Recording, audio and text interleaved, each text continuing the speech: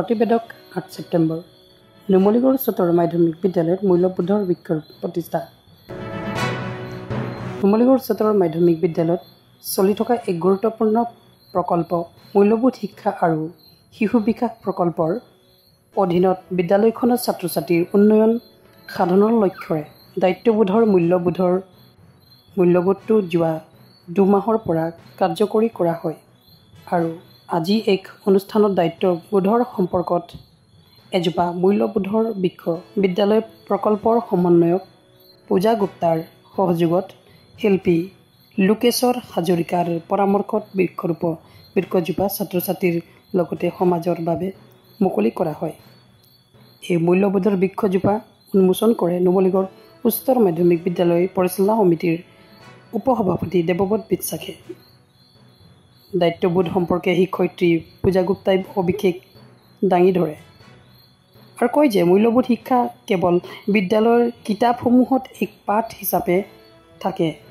ছাত্ৰ ছাত্ৰীসকলে মূল্যবোধৰ শিক্ষাৰ পৰা বঞ্চিত হৈ থাকে। নুমলীগড় উচ্চতৰ মাধ্যমিক বিদ্যালয়ত এ ডি আইৰ অধীনত মূল্যবোধৰ শিক্ষা আৰু শিশু বিকাশ প্ৰকল্প চলি আছে।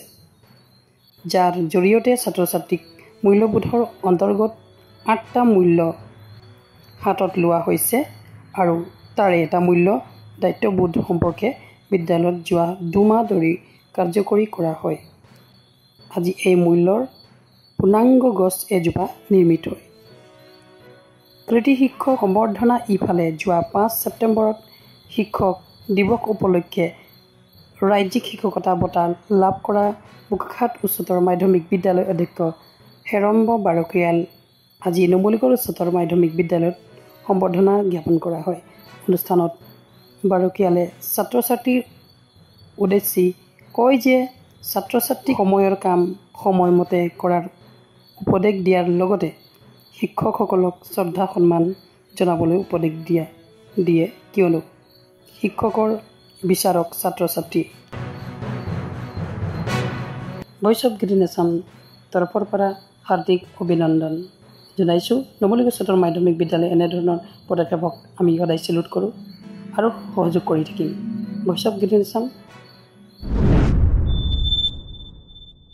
শ্ৰদ্ধেয় বাৰ্গেল ছাৰ আৰু নুমলীগড় উচ্চ মাধ্যমিক বিদ্যালয়ৰ অধ্যক্ষ মহেন শইকীয়া ছাৰ আৰু মোৰ শিক্ষাগুৰুসকল আৰু মৰমৰ ছাত্ৰ ছাত্ৰীসকল আজি এই সভাত উপস্থিত বাৰগেল ছাৰৰ কৃতি শিক্ষকৰ সন্মানৰ কাৰণে তেখেতক মই শুভেচ্ছা জনালোঁ। আৰু তেখেতৰ বিভিন্ন ধৰণৰ বিভিন্ন কাৰণত বিভিন্ন হেৰিত নুমলীগড় নুমলীগড় তেখেতৰ স্কুলৰ যিখিনি অৰিহণা আগবঢ়াইছে সেইকাৰণে তেওঁ তেখেতে কৃতি শিক্ষকৰ বঁটা প্ৰাপ্ত পাইছে। সেইটো কাৰণে মই তেখেতক শুভেচ্ছা জনালোঁ আৰু তেখেতৰ সুস্বাস্থ্য কামনা কৰিলোঁ। আজি এই যি বৃক্ষৰ উন্মোচনৰ মোক দায়িত্ব দিছে সেই বৃক্ষ উন্মোচন মই কৰিবলৈ কৈছোঁ আৰু এই বৃক্ষ প্ৰতিটো বস্তুৰ সকলো ছাত্ৰ ছাত্ৰীয়ে যেন ভাল ধৰণে চলাই নিব পাৰে ভালকে এই বৃক্ষক মানে যেনেকুৱা গছ এজোপাক আমি পানী দি সাৰ দি পেলাই আমি আগ ডাঙৰ কৰি লৈ যাওঁ সেই বৃক্ষটো যেন দিনক দিনে ওপৰলৈ উঠি গুচি যায়। ইয়াকে কৈ মোৰ শুভকামনা আৰু মোৰ বক্তব্য সামৰণি মাৰিলোঁ। জ্ঞাপন কৰিলো। এতিয়া গছজোপাৰ বিষয়ে কিছু জনাব আমাৰ পূজা গুপ্তাই। সুপ্ৰভাত সকলোলৈকে। ধৰ্মৰ ছাত্ৰ ছাত্ৰীসকল তোমালোকে ইতিমধ্যে গম পোৱা যে আমাৰ বিদ্যালয়ত value based education and child development নামৰ প্ৰজেক্টটো চলি আছে। হয়নে? হয়। আৰু আমাৰ বিদ্যালয়ত যিখন ভেলিউ লোৱা হৈছে দুমাহৰ কাৰণে সেই ভেলিউটোৰ নাম কি?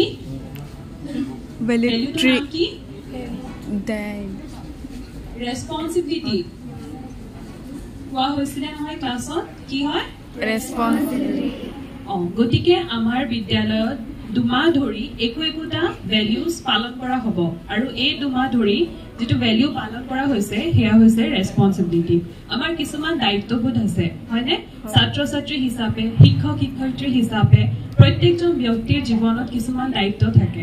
আৰু তোমালোকে ৰাতিপুৱা শুই উঠাৰ পৰা ৰাতি শোৱা পৰ্যন্ত যিখিনি কাম কৰা সেইখিনি একো একোটা কি হয়? দায়িত্ব হয়। দায়িত্বই মানুহৰ জীৱনত কি কৰে? এজন সফল ব্যক্তি হিচাপে পৰিণত কৰাত সহায় কৰে।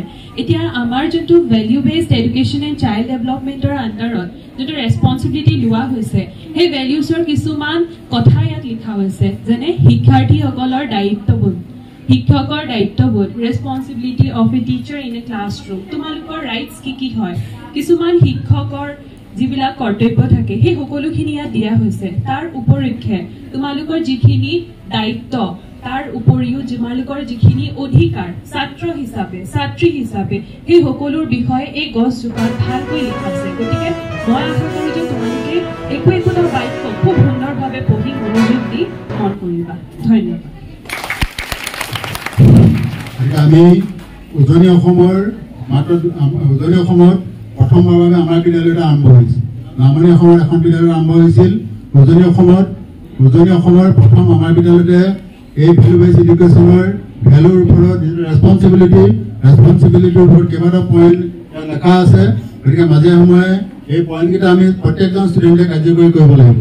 যিকেইটা পইণ্ট লেখা আছে বৰ্তমান আঠটা ভেলুৰ ওপৰত আমাৰ স্কুলত যিহেতু নিজৰ নিজৰ দায়িত্ববোধৰ কাৰণে নিজৰ যিটো কৰ্তব্য ষ্টুডেণ্টৰ যিখিনি কৰ্তব্য সেই কৰ্তব্যখিনি আমি আঠটা ভাগত ভগাইছোঁ কোনে কোনে কি কৰিব লাগিব নিয়মানুৱৰ্তিতা কিনন উৰণ ইত্যাদি কৰি গোটেইখিনিৰ ওপৰত আঠটা আমি ভাগত ভগাইছোঁ ইয়াৰ এটা ভাগ হৈছে ৰেচপনচিবিলিটি বৰ্তমান চলি আছে ৰেচপনচিবিলিটি এই গোটেইকেইটা পইণ্ট ধুনীয়াকৈ লেখা আছে। গোটেইকেইটা অলপ চবেই পঢ়িব লাগিব। পঢ়ি পঢ়ি নিজৰ জীৱন গঢ়াৰ আমি প্ৰত্যেকে সপোন দেখিব লাগিব। হ'বনে? গতিকে ইয়াৰ পিছত আমাৰ পৰ্যায়ক্ৰমে এটাৰ পৰা এটা এই ফল এই ফলটো বদলি হৈ গৈ থাকিব। এতিয়া কি আছে? আম। আম নালাগে বেলেগ এটা ফল লাগিব। কিছুদিনৰ পিছত এইকেইটা যেতিয়া আমাৰ প্ৰত্যেকৰে সম্পূৰ্ণ হ'ব। ৰেচপনচিবিলিটি এই দায়িত্বটো যেতিয়া আমি প্ৰত্যেকজন ছাত্ৰ ছাত্ৰী আমি বুজি পাম তাৰপিছত আমি আন ফল লগাম তেতিয়া আমি আকৌ বেলেগ এটা বেলেগ এটা মূল্যবোধৰ কথা আহি যাব। গতিকে মই পূজা গুপ্তালৈ আন্তৰিক ধন্যবাদ জ্ঞাপন কৰিলোঁ। আজি ইমানতে সামৰণি মাৰিছোঁ। This is YouTube and you are watching Voice of Green Sound.